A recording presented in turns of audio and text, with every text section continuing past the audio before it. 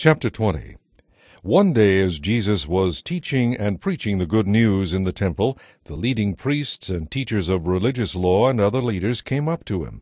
They demanded, By whose authority did you drive out the merchants from the temple? Who gave you such authority? Let me ask you a question first, he replied. Did John's baptism come from heaven, or was it merely human? They talked it over among themselves. If we say it was from heaven, he will ask why we didn't believe him. But if we say it was merely human, the people will stone us because they are convinced he was a prophet. Finally, they replied, We don't know. And Jesus responded, Then I won't answer your question either. Now Jesus turned to the people again and told them this story. A man planted a vineyard, leased it out to tenant farmers, and moved to another country to live for several years. At grape picking time, he sent one of his servants to collect his share of the crop. But the farmers attacked the servant, beat him up, and sent him back empty handed. So the owner sent another servant, but the same thing happened. He was beaten up and treated shamefully, and he went away empty handed. A third man was sent, and the same thing happened. He too was wounded and chased away. What will I do? the owner asked himself. I know, I'll send my cherished son. Surely they will respect him. But when the farmers saw his son, they said to each other, Here comes the heir to this estate. Let's kill him and get the estate for ourselves. So they dragged him out of the vineyard and murdered him. What do you suppose the owner of the vineyard will do to those farmers? Jesus asked. I'll tell you, he will come and kill them all and lease the vineyard to others. But God forbid that such a thing should ever happen. His listeners protested.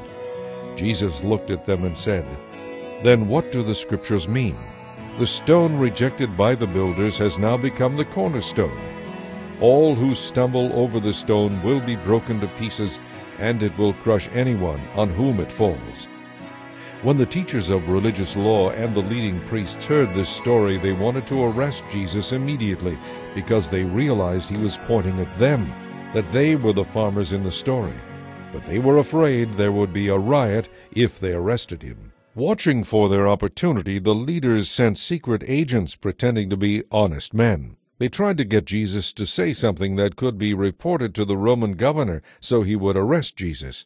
They said, Teacher, we know that you speak and teach what is right, and are not influenced by what others think. You sincerely teach the ways of God. Now tell us, is it right to pay taxes to the Roman government or not? He saw through their trickery and said, Show me a Roman coin. Whose picture and title are stamped on it? Caesar's. They replied. Well then, he said, give to Caesar what belongs to him, but everything that belongs to God must be given to God. So they failed to trap him in the presence of the people. Instead, they were amazed by his answer, and they were silenced. Then some Sadducees stepped forward, a group of Jews who say there is no resurrection after death. They posed this question Teacher, Moses gave us a law that if a man dies, leaving a wife but no children, his brother should marry the widow and have a child who will be the brother's heir. Well, there were seven brothers. The oldest married and then died without children. His brother married the widow, but he also died. Still no children. And so it went, one after the other, until each of the seven had married her and died, leaving no children. Finally, the woman died too. So tell us, whose wife will she be in the resurrection? For all seven were married to her. Jesus replied, Marriage is for people here on earth.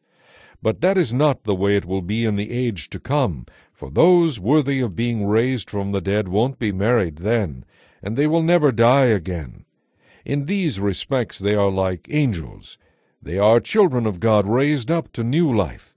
But now, as to whether the dead will be raised, even Moses proved this when he wrote about the burning bush. Long after Abraham, Isaac, and Jacob had died, he referred to the Lord as the God of Abraham, the God of Isaac, and the God of Jacob. So he is the God of the living, not the dead. They are all alive to him. Well said, teacher, remarked some of the teachers of religious law who were standing there, and that ended their questions. No one dared to ask any more. Then Jesus presented them with a question. Why is it, he asked, that the Messiah is said to be the son of David? For David himself wrote in the book of Psalms, The Lord said to my Lord, Sit in honor at my right hand, until I humble your enemies, making them a footstool under your feet. Since David called him Lord, how can he be his son at the same time? Then, with the crowds listening, he turned to his disciples and said, Beware of these teachers of religious law, for they love to parade in flowing robes and to have everyone bow to them as they walk in the marketplaces, and how they love the seats of honor in the synagogues and at banquets. But they shamelessly cheat widows out of their property, and then, to cover up the kind of people they really are, they make long prayers in public. Because of this, their punishment will be the greater.